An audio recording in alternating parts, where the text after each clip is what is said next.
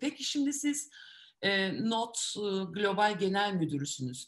Biraz bize bu pozisyonu anlatabilir misiniz? Hani benim hiç bilmediğim bir pozisyon bu. Bir global genel müdür ne yapar?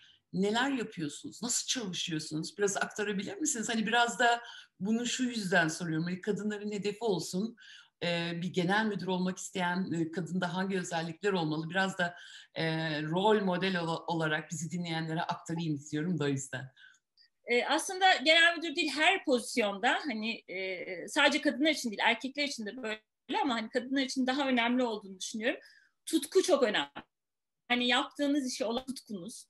Onu olarak yaşam biçimi olarak görmeniz çok önemli. Ben hep öyle derim. Yani bunca 30 yıldır neredeyse iş hayatındayım ama kendimi çalışmış gibi hissetmiyorum. Böyle hep keyif aldım. Hep böyle e, yani ne güzel bugün de işe gidiyorum noktasında gittim. E, o yüzden arkadaşlar, genç arkadaşlar ilk önereceğim şey tutku duydukları, heyecan duydukları işleri yapmaları. Her zaman çok mümkün olmuyor belki ama aramazsanız da bulunmuyor. Yani onu aramanız lazım, tutkuyla aramanız lazım. E, ben ne yapıyorum? E, şöyle tabii biz e, dedim ya biraz önce üretim yapan şirket. Yani ben elime bir ürün almayı çok sevdiğim için üretim yapan şirketleri seviyorum. Bizim bir fabrikamız var. Dolayısıyla ürün üretiyoruz. Ürün üretebilmemiz için de bir süreç var. E, o süreç çünkü sadece var olan ürünleri üretmiyoruz. Yeni ürünler ekliyoruz bütün şeyimize, e, portföyümüze.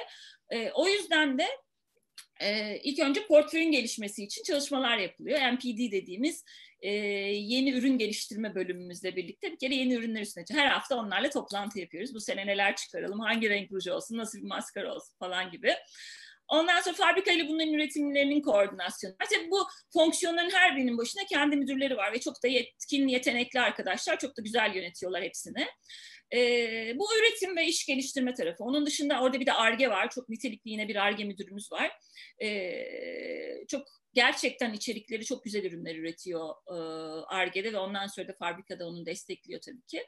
E, bunun tabii ürettiğiniz ürünün bu sefer de satılması ve pazarlanması var e, eski patronum e, kulakları çınlasın şey derdi en güzel ürünü bile üretseniz satamadığınız sürece bir anlamı yoktur diye gerçekten de hani bir taraftan da işte bunun pazarlama ve satışının yapılması gerekiyor. Öyle fonksiyonlarımız var. Mesela bizim global pazarlamamız e, Paris'ten yönetiliyor.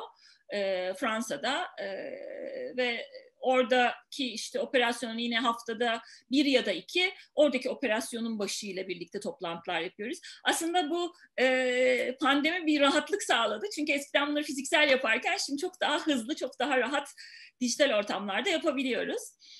Ee, yine satışın organizasyonunun yapılması için satış müdürleriyle ve satış elemanlarımızla birlikte Bunların e, rutinasyonları var. E, başka ne var? Saha ekiplerimiz var. Onların motivasyonu var. E, insan kaynakları var. İnsan kaynaklarının yönetimi e, insanların motive pandemide en çok bunun üstüne e, çalışmamız gerekti. Yani evlerine çektiğimiz insanları nasıl motive edeceğiz? O bütünlüğü nasıl koruyacağız?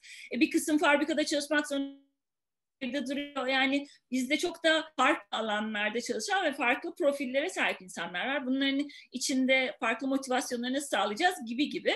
Ee, yani hani gün 24 e, saat gün çok zor yetiyor bana.